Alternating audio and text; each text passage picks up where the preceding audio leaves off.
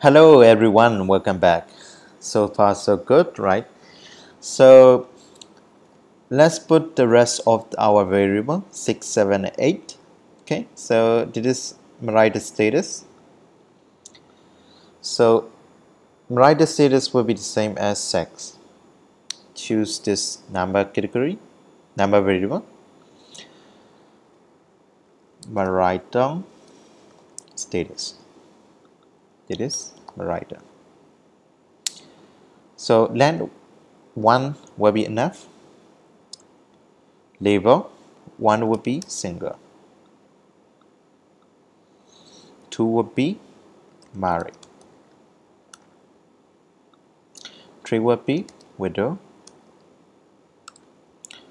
4 will be separated. Now we will give a missing value 9.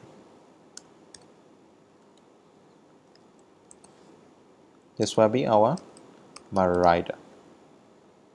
Click OK. Now press enter.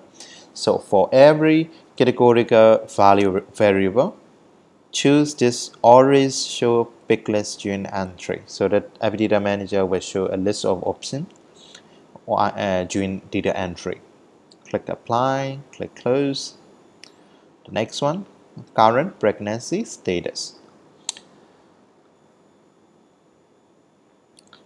current pregnancy status will either be yes no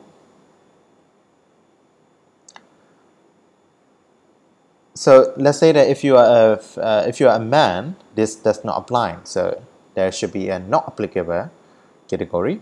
Also there should be a missing category right? Okay. Now the same as marital status click this new integer variable number variable current pregnancy status. Pregnancy. One be yes. So to be intuited we will put 0 as no. So it is intuitive, right? 0 is no, 1 is yes. So if you just change this one 0, this will automatic, automatically become 1. The next one will be not applicable. So we'll put 8 as not applicable. And we'll put 9 as missing value. So EpiData Manager will nicely give it out to you. This will be our pregnancy. Click OK.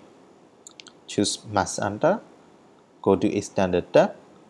Choose this one. Apply. Close. The last one. The last one would be address.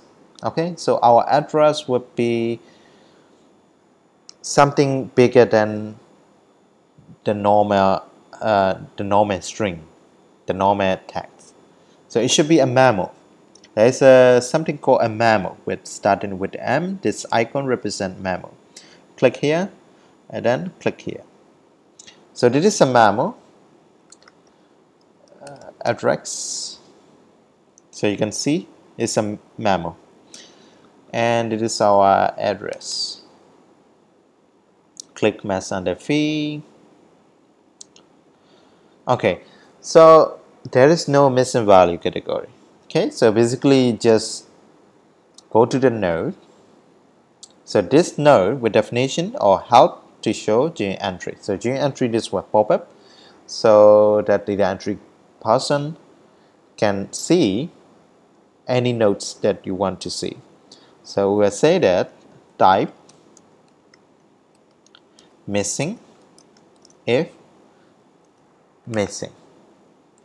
Okay great. Now click apply click close.